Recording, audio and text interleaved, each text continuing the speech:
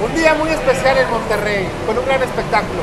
Así es, bien contentos de poder traer a nuestras bendiciones. Este, aquí se los presentamos. Pues mira, pues nomás con ver cómo, cómo andamos batallando, hombre. Pero mira, por este lado te presento a, a mi hija Abril. Yo vengo con Natalia y con Laia y mi compadre. En familia, disfrutar de este espectáculo. Sí, sí, sí, es, es, es bonito también pasar, eh, tomarte unos días para estar descansando y coincidió muy padre que, que nos invitaron a este evento tan, tan, tan importante pues para poder compartir con los bebés, ¿no? Oigan, ¿ustedes les ha encantado algún, a algún personaje de Disney? Pues hemos hecho parodias. hemos, hicimos la de Frozen, hicimos este...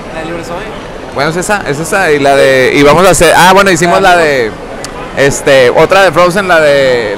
¿Cómo se llama esa? La de... Esta, me, esta. canción. Acuérdate, hombre. ¿Cómo se llama la que hicimos, mi amor? De, la que hicimos, la que le cambiamos la letra. La de Frozen. ¿Cómo se llama esa? La, de, la que hicimos de Frozen. No. Bueno, hicimos la de Libre Soy, que le cambiamos la letra para cuando las mamás de- tienen el regreso a clases. Y este, y pues sí, obviamente sí lo hemos hecho, pero tenemos mucho cuidado con esas canciones porque como son muy de los niños, pues casi no, le- no nos metemos ahí. Andan en su, en su faceta de papá y de tío. Es correcto, este nos tocó, nos tocó ahora portarnos bien. Hablamos mucho a las personalidades que estamos entrevistando, la magia que envuelve a estos personajes de Disney. Sí, fíjate, este es algo muy bonito y sobre todo que, que no importa la edad que, la edad que tengas, ¿no? Este, nosotros lo decíamos eso este, hace poquito que tuvimos la oportunidad de estar en, en- en el parque de Disney. Este, las canciones, todo eso te transporta y te hace sentir niño otra vez, ¿no? Entonces ahora es bonito pues compartir con los niños esta, esta experiencia. Es, a este espectáculo específicamente nunca habíamos venido, yo no lo conozco y será un placer, ¿no?